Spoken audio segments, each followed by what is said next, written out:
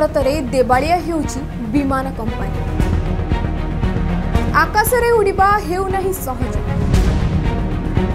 ଉଣେଇଶହ ଚଉରାନବେ ପରେ ବନ୍ଦ ହୋଇଯାଇଛି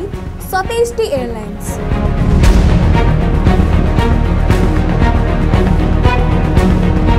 ମୋଦେଲି ଫତ୍ରୁ କିଙ୍ଗଫିସର ଯାଏଁ ଭାରତୀୟ ଆକାଶରେ ଦୀର୍ଘ ସମୟ ପର୍ଯ୍ୟନ୍ତ ତିଷ୍ଠି ପାରୁନାହାନ୍ତି ବିମାନ କମ୍ପାନୀ ଇନ୍ଧନର ଚଢ଼ା ଦାମ তীব্র প্রতিদ্বন্দ্বিতা পরিচালনা খরচ আদি বিভিন্ন কারণ যোগুঁ প্রায় ডর্জনে এয়ারলাইন্স কারবার বন্ধ করেছে তেবে এহারি মধ্যে আউ এক বিমান কোম্পানি এবে সংকটরে রয়েছে দেশের অন্যতম প্রমুখ এয়ারলাইন্স তথা ওয়াডিয়া গ্রুপ অধিকৃত গোফার্স নিকটরে দেবাড়িয়া প্রক্রিয়া নিমন্তে আবেদন করেছে তেবে দেবাড়িয়া হেবার প্রথম ভারতীয় বিমান নুহে বরং এর লম্বা তালিকা রয়েছে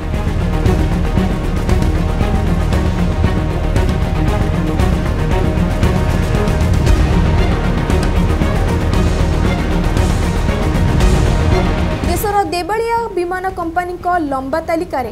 East West Airlines Archana Airways NEPC Airlines ModiLuft Damania Airways Jet Airways Fisher Airlines ଏବଂ ପାରାମାଉଣ୍ଟ ଏୟାରୱେଜ୍ ଆଦିର ନାଁ ରହିଛି ଏଗୁଡ଼ିକ ଏଭଳି ଏୟାରଲାଇନ୍ସ ଯେଉଁମାନେ ଦେବାଳିଆ ହୋଇ ବନ୍ଦ ହୋଇଯାଇଛନ୍ତି କିମ୍ବା ଅନ୍ୟ କମ୍ପାନୀଙ୍କ ଦ୍ୱାରା ଅଧିଗ୍ରହଣ ହୋଇଯାଇଛନ୍ତି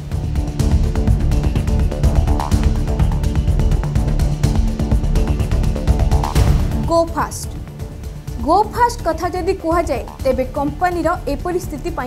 আমেরিকা কোম্পানি প্রাট আন্ড হুইটনির নিম্নমানর ইঞ্জিন দায়ী বলে কুহযাচ্ছে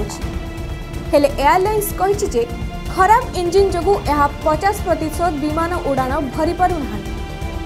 ହେଲେ ଗଣମାଧ୍ୟମ ରିପୋର୍ଟ ଅନୁସାରେ Go First Pratt and Whitney ବିରୋଧରେ ଆମେରିକାର ଏକ କୋର୍ଟରେ ମାମଲା ଦାୟର କରିଛି ଏହା ଛଡ଼ା Go First Bank of Baroda IDBI Bank Axis Bank Central Bank of India এবং ডস ব্যাঙ্কগুড়িকରୁ ଋଣ ନେଇଛି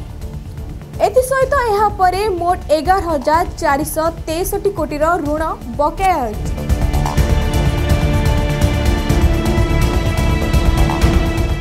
କିଙ୍ଗଫିସର ଏୟାରଲାଇନ୍ସ কিংফিশর এয়ারলাইন্স মদ ব্যবসায়ী বিজয় মাল্যাঙ্ক দ্বারা স্থাপিত হয়েছিল আউ দুই হাজার পাঁচরে এর বিমান উড়াণ আরম্ভ হয়েছিল দিন লা এই এয়ারলাইন্স ঘরোই বিমান চলাচল বজারে দ্বিতীয় সর্ববৃহৎ বজারর অংশবিশেষ থাকা কোম্পানি লা কিন্তু কিছু বর্ষ পরে এর দুর্দিন আরম্ভ হয়েছিল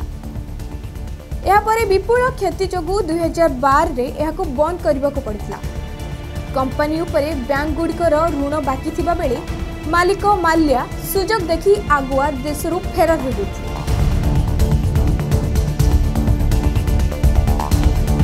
ModiLuft airlines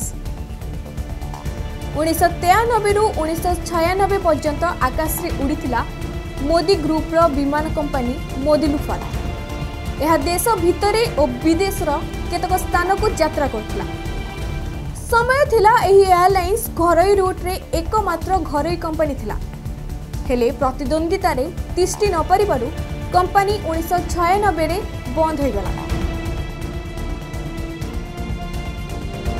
Jet Airways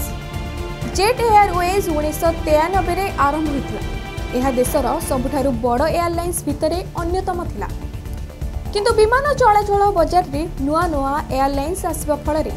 price war ବଢ଼ିଗଲା ଫଳରେ ଧୀରେ ଧୀରେ ଜେଟ୍ ଏୟାରୱେଜ୍ର କ୍ଷତି ବଢ଼ିବାକୁ ଲାଗିଲା ପରେ ଦୁଇ ହଜାର ଉଣେଇଶରେ ଏହାର ପରିଚାଳନା ବନ୍ଦ ହୋଇଥିଲା ଏୟାର ଡେକାନ୍ ସୁଲଭ ମୂଲ୍ୟରେ ବିମାନ ସେବା ଆରମ୍ଭ କରିଥିବା ଦେଶର ପ୍ରଥମ କମ୍ପାନୀ ଥିଲା ଏୟାର ଡେକାନ୍ ଦୁଇହଜାର ତିନିରେ ସ୍ଥାପନ କରାଯାଇଥିବା ଏହି କମ୍ପାନୀର ବିମାନ ଦେଶ ବିଦେଶର ବିଭିନ୍ନ ସ୍ଥାନକୁ ଯାତ୍ରା କରୁଥିଲା ହେଲେ ଦୁଇହଜାର ସାତରେ ଏହାକୁ କିଙ୍ଗଫିସର ଏୟାରଲାଇନ୍ସ କିଣି ନେଇଥିଲା ବ୍ୟୁରୋ ରିପୋର୍ଟ নন্দীঘোষ ডিজিটাল